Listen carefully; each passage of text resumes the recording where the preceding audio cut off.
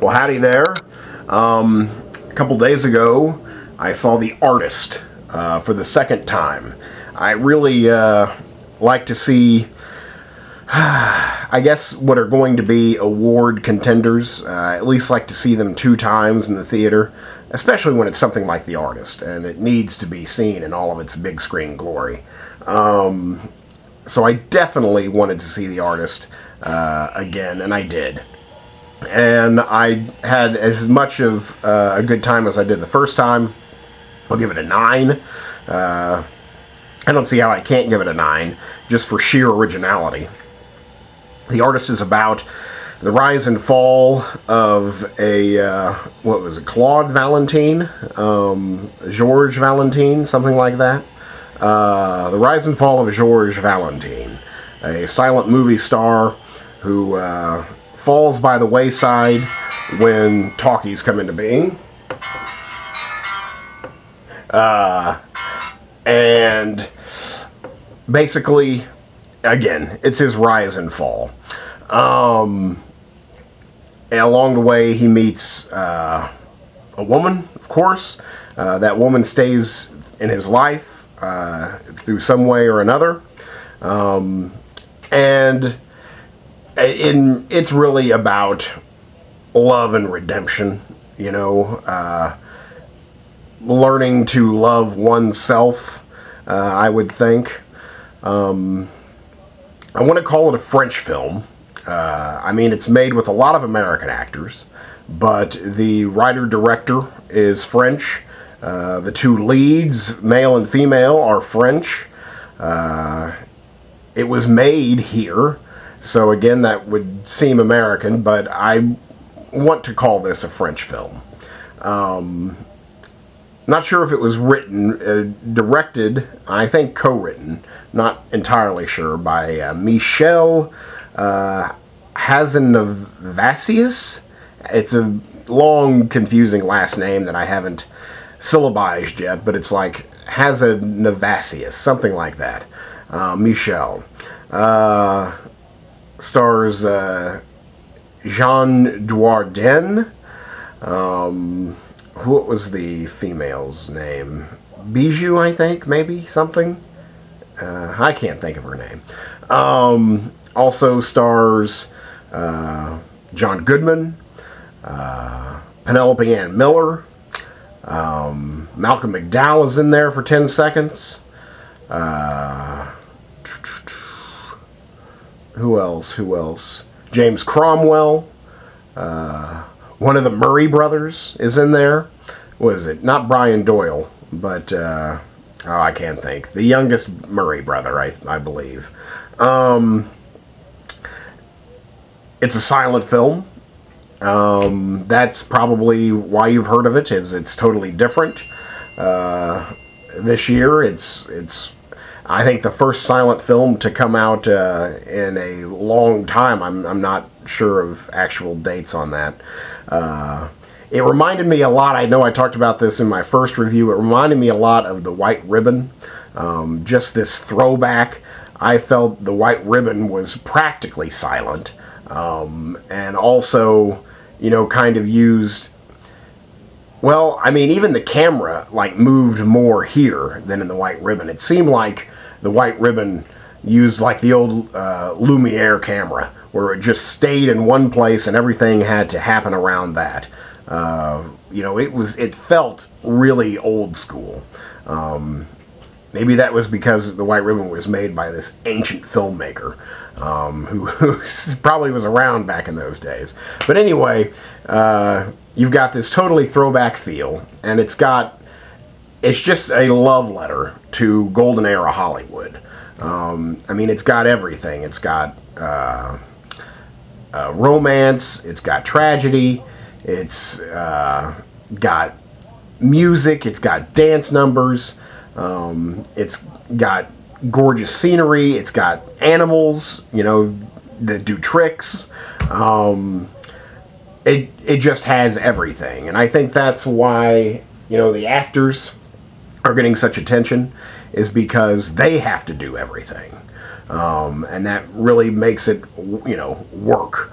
uh, and really worth it. I mean, the the lead actor uh, Jean Dujardin, I mean, really has to do, you know, basically every emotion in the book, um, and he's got to do it without words. You know, he has to express that uh, with his face, and he does it uh, beautifully. Uh, as does the as does the lady. Um, she has just as much to do, and I think she's equally as good. Um, but really, he is, I mean, kind of magical. Uh, the movie may drag for a bit. Um, you know, the first, because like the first 30 minutes are just kind of spectacular. Um, and then, you know, it gets, it's a story that we've seen a hundred times. You know, there's, it tells this story that you know. Um, so there's nothing really original in terms of story here. Um, it's just all original in the way it's told. Uh, I kind of lost my track there. Where was I going with that? Uh, crap.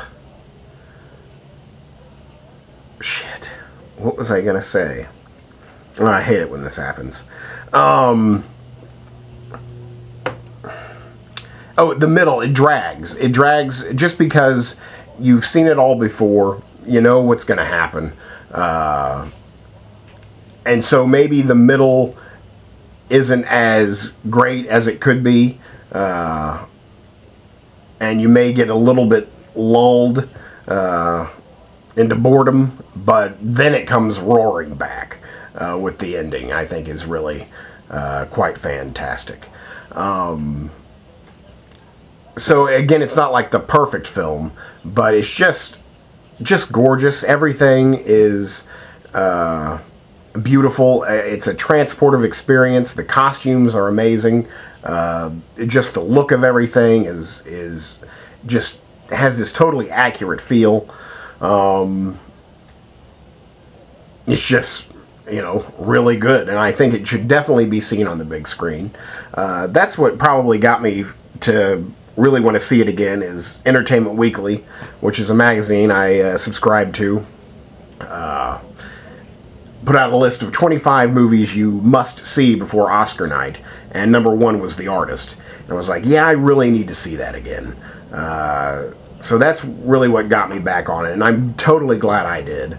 Uh, I mean, really, I don't even know what else to say about it. I thought it was just fantastic. Um, gorgeous, uh, well acted, well told. Um, again, the, the middle, you know, Act 2 maybe you know a little wandering for you or at least you know exactly what's going to happen and you just want to get to the end.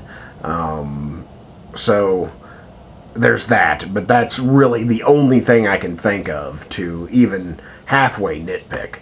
Um, everything else was just gorgeous. I again the the lead actor very deserving of all the praise he's, he's been getting. He'll certainly get a nomination for Best Actor at the Oscars. Uh, he won Best Actor at uh, Cannes uh, this past summer. Um, now, whether he'll win at the Oscars, I don't know. Uh, you know, we love Americans, but uh, I don't know. Maybe not. Maybe not. Uh, so I don't really know what else to say about it. It's definitely a movie you need to see. Definitely one of the best movies of the year. Uh, easily one of the best movies of the year. Uh, very original, um, while not being original. It, ta- it takes a story that's old as time and tells it in a fresh way. Uh, so I really don't know what else to say about it. Uh, gorgeously shot. I mean, the black and white. Um, black and white is just beautiful. Uh, and I think it's harder to shoot black and white than it is color. Uh, definitely harder for the cinematographer. Um, and really, it just is gorgeous. Uh, and of course, it really helps nail that old timey feel. Um, but it uh, just a fantastic, uh, transportive, um, happy film. I mean, there's there's just so much love in this I mean, that's there's just so much love. Hold on, just one second. Hello. Hey. Yeah. Okay, cool. Uh, just a movie of love. You know, just tremendous.